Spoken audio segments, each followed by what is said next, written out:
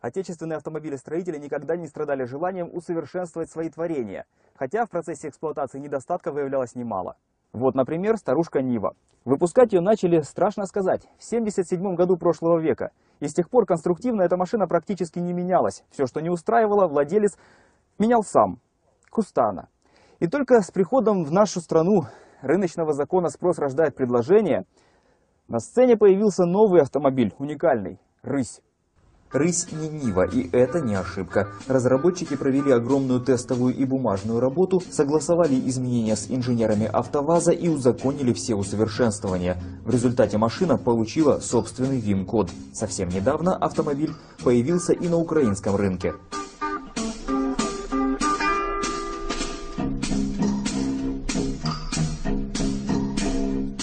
Куда отправиться тестировать внедорожник? Конечно же на бездорожье.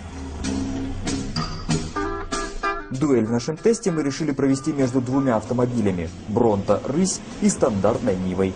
Внедорожный потенциал легендарной «Нивы» ни для кого не секрет. Однако у стандартного авто есть своя ахиллесова пята – диагональное вывешивание.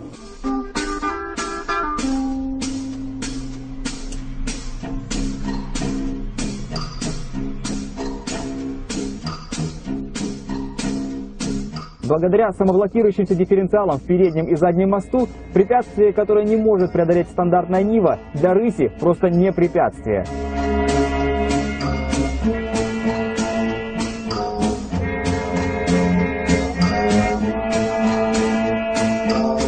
Основной акцент создатели «Рыси» сделали именно на улучшении внедорожных характеристик автомобиля. Стоит отметить, что такая модернизация просто напрашивалась после выпуска более комфортного вседорожника «Шевроле Нива». Вполне логично развести эти машины в разные классы.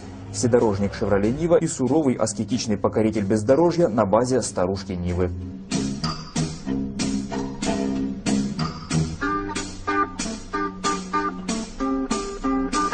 Часть проблем, связанных с излишней вибрацией в ВАЗ-2121, сумели исправить сами тольяттинцы, применив новые карданы и доработав трансмиссию. Труд превратить скромную Ниву в яркий, надежный и серьезный внедорожник взяло на себя российское предприятие «Бронто», находящееся все в том же Тольятти. Самое главное, что в автомобиле установлены самоблокирующиеся межколесные дифференциалы в переднем и заднем мосту. Сделан, произведен лифт подвески за счет установления проставок. Также установлены более усиленные пружины, амортизаторы с увеличенным ходом. Для увеличения тяговых усилий установлены редуктора 4.1.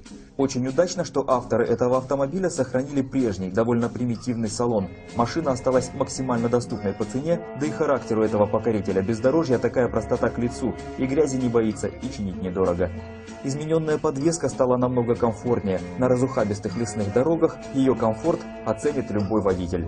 Все автомобили в базовой комплектации Э, имеют в своем активе литые диски 15, резинку с грунтозацепами 235-75 под названием «Медведь». Под эти, скажем так, внедорожные колеса были доработаны арки. Второй важной частью теста стал въезд на песчаный склон. Именно здесь наиболее ярко проявили себя новые, более тяговитые редукторы. Рысь легко вкатилась на холм, там, где стандартная Нива двигалась на повышенных оборотах двигателя и буксуя.